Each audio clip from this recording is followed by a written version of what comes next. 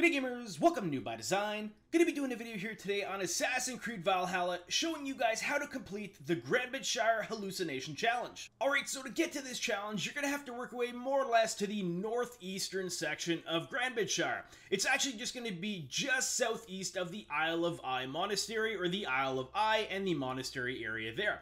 You're gonna work your way into the center of the kind of circular area here and uh, interact with the mushrooms.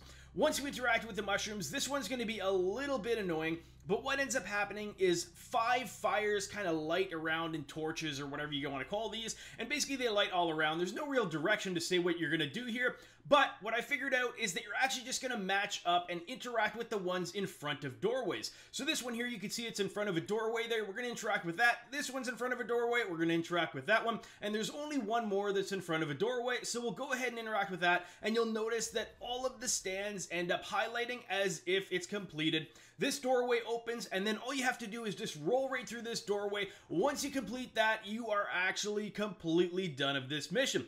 Alright gamers, if this helped you guys out at all, I sure would appreciate if you guys would go ahead and hit that like button. And if you guys would like to see more videos on Assassin's Creed Valhalla, go ahead and hit that subscribe button to be notified every single time a new video comes out. Alright gamers, thanks for watching.